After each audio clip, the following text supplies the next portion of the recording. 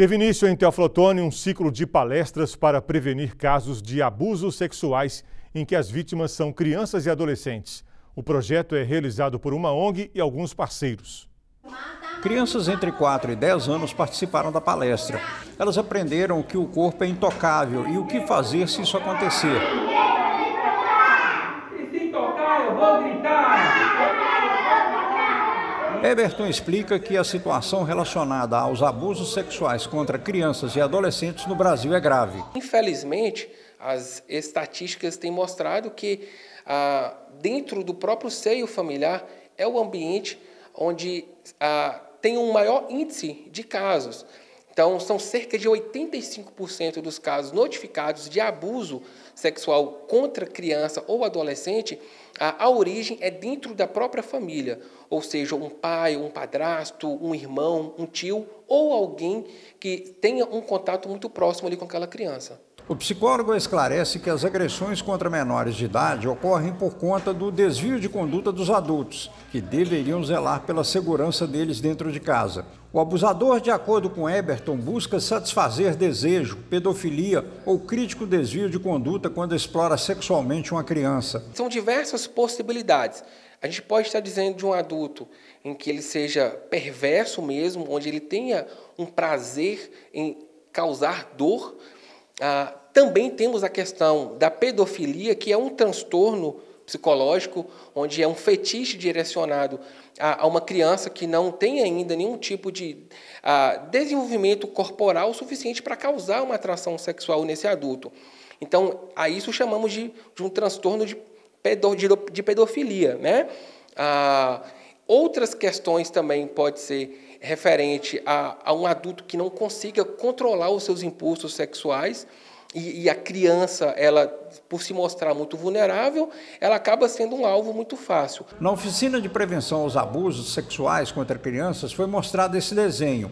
Nele existem as cores verde, amarela e vermelha. A vermelha é onde elas não podem ser tocadas. O psicólogo diz que o prejuízo a uma vítima pode deixar marcas para o resto da vida. Fica ali registrado um trauma naquela criança. E a forma como que ela vai desenvolver esse trauma, como que ela vai apresentar esse trauma na vida adulta, são inúmeras possibilidades. Então, ah, pode desenvolver um transtorno depressivo, algum transtorno severo de personalidade, porque estamos falando de alguém que sofreu esse abuso na infância ainda. Ah, tem ah, diversas facetas de possibilidades. Fato é que, de alguma forma, esse indivíduo ele vai apresentar alguma reação a esse trauma em algum momento da sua vida. De acordo com a Associação Brasileira de Psiquiatria, 58 casos de abuso sexual contra crianças são registrados por dia no Brasil. O problema são aqueles que não chegam sequer ao conhecimento das autoridades, ficam subnotificados. Viviane é assistente social em Ouro Verde de Minas. Ela também foi convidada para a palestra em Teófilo Otoni. Viviane percebeu que mulheres, por dependência dos companheiros, às vezes são omissas ao não impedir o abuso dos filhos dentro de casa. Em determinadas situações, as mulheres, por dependência emocional ou financeira e também por ter receio né, de ter alguma agressão e ameaças por parte do companheiro, infelizmente ocorre que elas se é, abstêm de denunciar esses casos que os próprios filhos vêm sofrendo dentro, dentro do lar. Então, a nossa luta é conscientizar tanto os pais, as crianças, os adolescentes que são as vítimas de, de abuso, né?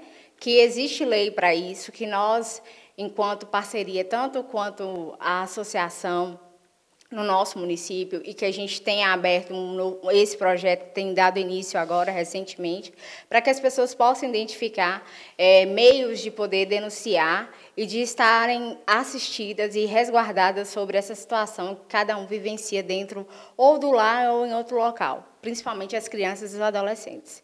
Diretora da ONG Juntos Fazendo Bem, Elane explica que as palestras serão realizadas em mais quatro comunidades em Teoflotone. Depois vai para Ouro Verde de Minas. Com o trabalho preventivo, Elane espera mais eficácia das autoridades em punir rapidamente os abusadores. Se a gente começar a fazer isso pontualmente, é, a gente vai conseguir inibir né, os abusadores, que eu acho que isso tem que ser feito, né?